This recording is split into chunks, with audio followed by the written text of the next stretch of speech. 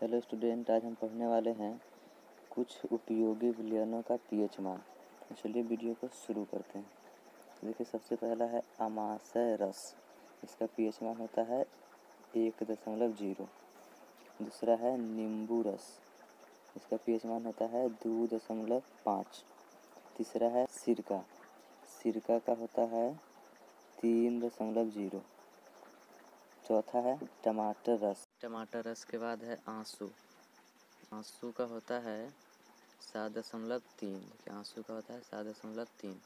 रक्त रक्त यानी कि खून, जिसको इंग्लिश में ब्लड कहते हैं। ब्लड का होता है सात दशमलव चार। उसके बाद है चूना जल। चूना जल का होता है, चूना जल के बाद है पसीना। पसीना का होता है चार दशमलव पाँच। अम्ल वर्षा अम्ल वर्षा का होता है पाँच दशमलव छः। पेशाब, जिस, पेशाब, उसको कहते हैं, उसको होता है छः दशमलव ज़ीरो। उसके बाद है दूध, जिसको इंग्लिश में मिल्क कहते हैं।